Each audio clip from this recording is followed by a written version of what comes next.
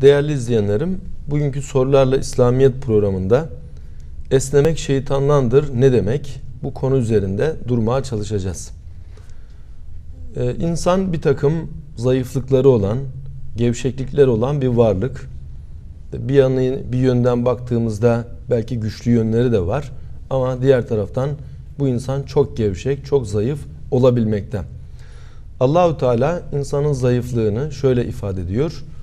Ee, Huligal insanu daife. İnsan zayıf olarak yaratıldı. İşte bu zayıflığın herhalde göstergelerinden birisi zaman zaman insan esniyor.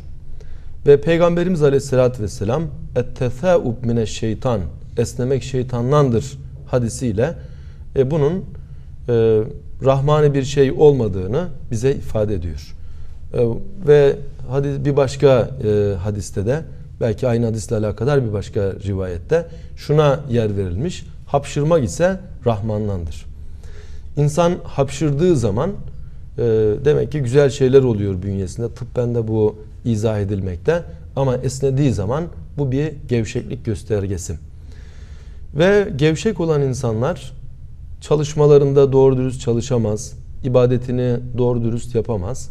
Böyle olunca da o insan hem manen hem de maddeten geri kalmaya mahkum olur. Şu anda e, ülkemizde mesela pek çok insan esnemekten şikayet eder. Diyelim e, bir öğretmen sınıfa girdiğinde bakar ki sınıfta bazı öğrenciler ders esnasında esniyorlar. Veya bir iş yerinde patron işçileri e, böyle kontrol ederken bakar bir kısmı işin başında esniyor. Demek ki şeytan insanlarla oynuyor, insanları gevşetiyor. Ve insanlar kendi fiilleriyle böyle bir gevşekliğe sebebiyet vermiş oluyorlar. Bundan kurtulmak lazım ve bundan kurtulmanın yolu da daha böyle dinamik olmak, gevşekliğe sebebiyet verecek şeylerden uzak kalmak.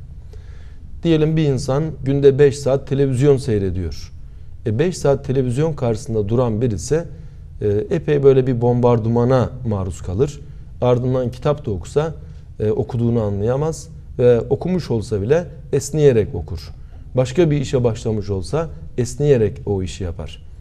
Halbuki e, beynin, zihnin genç, dinç kalması lazım ve bu aktivitede doğrudan doğruya insanın iradesine bağlı olan bir olay.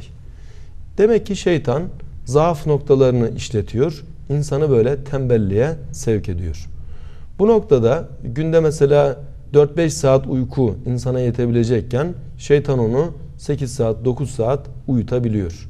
Daha fazla uyku vücudun çok daha fazla dinlenmesi demek değil. Belli bir noktadan sonra artık uyku insana zarar verecek bir duruma gelir. Onu tembelleştirecek bir duruma gelir. Dikkat edilecek olursa İslami hayatta güne erken başlamak vardır. Ve güneş doğmadan bir Müslümanın uyanık olması lazım. Peygamberimiz aleyhissalatü vesselam şöyle buyuruyor. Sizden diyor birisi uyuduğunda şeytan onun ensesine üç düğüm atar. Uyandığında diyelim sabah namazı için uyandığında veya gece teheccüd için uyandığında düğümlerden biri çözülür. Yataktan kalktığında bir düğüm daha çözülür. Ardından abdest aldığında diğer düğüm de çözülür. Demek ki insan gevşiyor. Ve bu gevşemek e, insanı daha fazla gevşekliğe itebiliyor, esneyerek kalkabiliyor. Ama böyle dinamik bir şekilde hemen yatağından fırlayıp kalkabilse, ardından abdest alabilse o gevşeklikten kurtulmuş olacak. Bu noktada bir Müslüman diğer insanlara göre daha avantajlıdır. Diğer insanlar e, güneş doğmadan kendilerini ayakta bulmak için bir motive gücüne belki sahip değil. Ama bir Müslüman benim sabah namazını vaktinde kılmam lazım gelir diyor ve ona göre güne erken başlıyor. Ve şu da belki önemli. Peygamberimiz Aleyhisselatü Vesselam sabah namazından sonra 50 dakika kadar ki bir zamanın kerahat vakti olduğunu ifade ediyor. O vakitte uyumak uygun görülmemiş ve mekruh olarak ifade ediliyor. Peygamberimizin tatbikatında bu şu şekilde halledilmiş. Peygamber Efendimiz kendi Mescid-i Nebevisinde sahabelerle namazı kılıyor. Namazdan sonra isteyen e, işine gidebilir, evine gidebilir. E, de peygamberimizin sohbetinde kalırlar ve Peygamberimiz Aleyhisselatü Vesselam onlarla sohbet eder. Ve sahabe zaten Peygamberimizin sohbetiyle yetişmiş olan kimselerdir. Peygamberimiz bazen kendi gördüğü rüyayı anlatıyor, yorumunu yapıyor. Bazen onların rüyalarını dinliyor, onların rüyalarının tabirini yapıyor. Böylece o kritik dönem insanın nefsinin uykuyu çok sevdiği, yatakta olmayı arzu ettiği dönem uyanık geçirilmiş oluyor.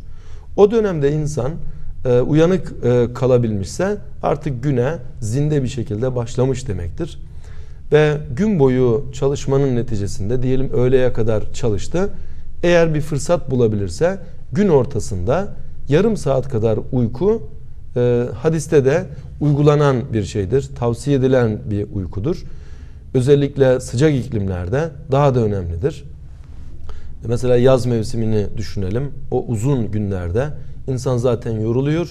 Öğleye kadar çalıştıktan sonra yarım saat kadar şöyle bir uyku e, günün geri kalan kısmını çok daha dinç bir şekilde devam ettirmeye yetebilir. Değerli izleyenlerim, e, akşam üzeri uyumak bu da uygun görülmemiş ve bu da mekruhtur ve herhalde çoğumuzun tecrübeleriyle bu da sabittir.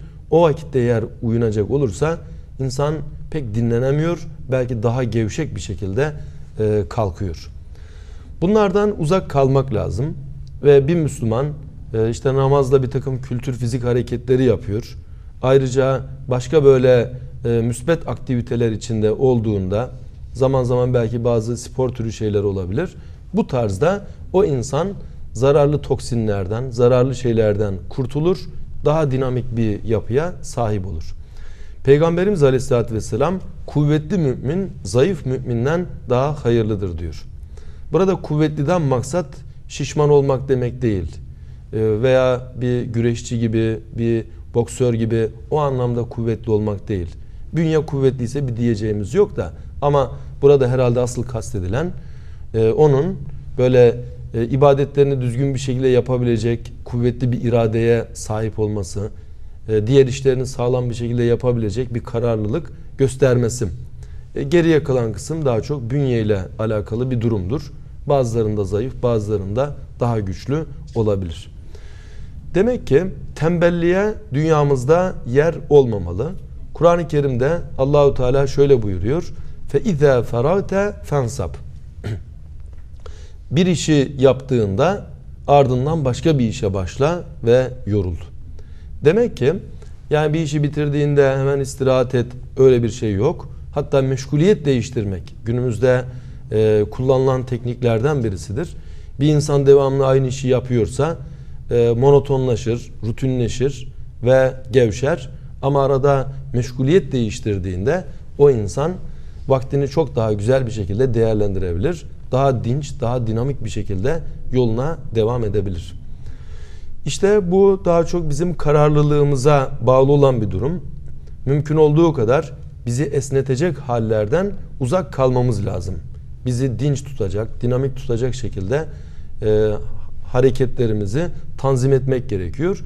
Bunu yaptığımızda Allah'ın izniyle böyle daha genç, daha dinç, daha dinamik bir şekilde yolumuza devam etmiş oluruz. Ve insanlarımız böyle tembel hanelerde esneyerek vakit geçirmekten kurtulur. Dinamik bir şekilde vaktini azami bir şekilde değerlendirmeye gayret gösterir. Cenab-ı Hak e, bu noktada hepimizi muvaffak eylesin. Esnemekten, gafletten, her türlü menfi şeylerden bizleri muhafaza buyursun. Bir başka programımızda görüşmek üzere. Hayırlı günler diliyorum.